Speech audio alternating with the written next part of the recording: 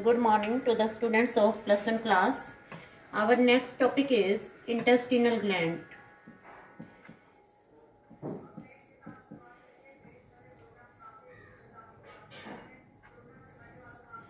Intestinal glands are those which are found in intestine. You know that in intestine there are present the foldings or the finger-like processes. These are called villi. I am drawing the diagram of villi here. These are the finger-like processes. These are called villi.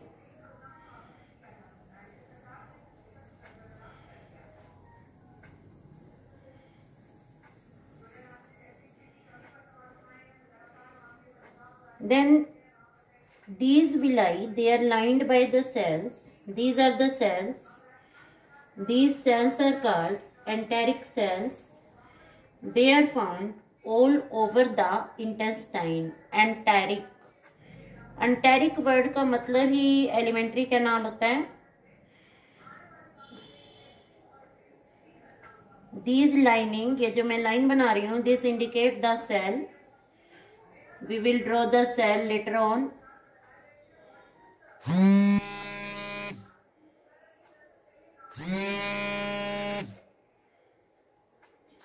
then you have to draw this type of cell these are enteric cells these enteric cells they are found in intestine this is villi and these अगर अपनी दो उंगलियों को fold करते हो ये इसको बोलते हैं crypt this is called crypt of Liverkuhan.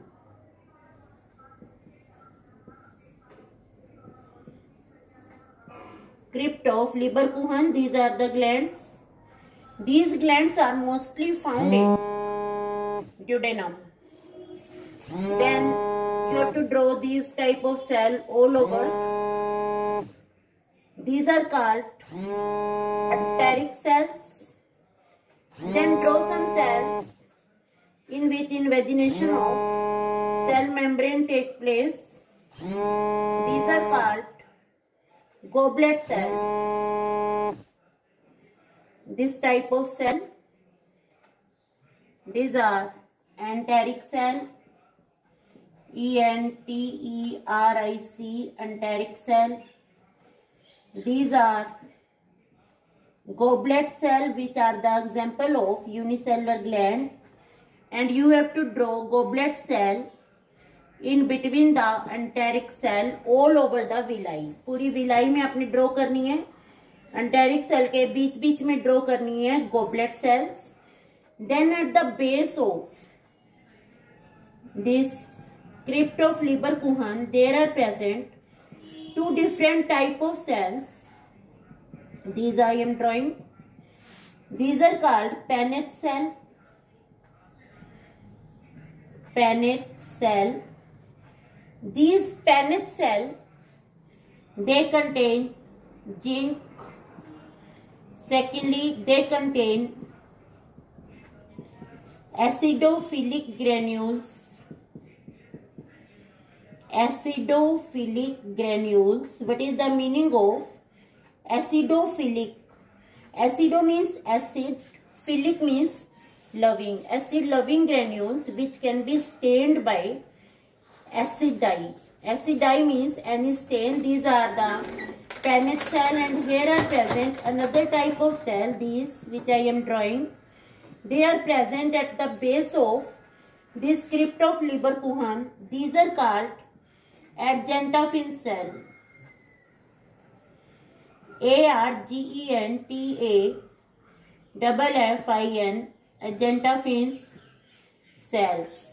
If we talk about the argentafin cells, argentafin cells they release first is secretin. This is the hormone. Second is 5-HT. This 5-HT, this is a particular type of receptor for serotonin receptor for serotonin what is serotonin serotonin is also hormone it is given mostly in depression it is mood altering hormone जो mood को change कर सकता है. If we talk about our natural food it is mostly found in banana then these argentophin cell they release these two factors secretin and 5 ht 5 hydroxy tryptamines. These are receptor for serotonin. Serotonin is mood altering hormone किसी patient को depression होता है अगर उसकी आप tablets देखेंगे that contain serotonin then this is crypt of Lieberkuhn it produce the enzyme for the secretion of for the digestion of food material and mucus is secreted by this goblet cell if we talk about hair आपकी book में दूसरी type का भी हो सकता है these are present the glands this type of glands are present these are Brunner gland these are called Brunner's gland they also secrete mucus and these two type of glands are found in intestine if we talk about the villi these are the two part of villi this lowermost part it is called secretory part this is secretory part जो secretion कर रहा है and uppermost part it is called absorptive part जो absorption में help कर रहा है it is called absorptive part if we talk about the secretion of intestinal gland we use a term that is called succus entericus succus entericus it is a term use for the secretion of intestine gland this contain various juices juices which help in the complete digestion complete digestion of maltose, complete digestion of starch, complete digestion of nucleic acid, proteins, etc. Then this is all about the intestinal gland. Draw this diagram carefully. Hmm, hmm.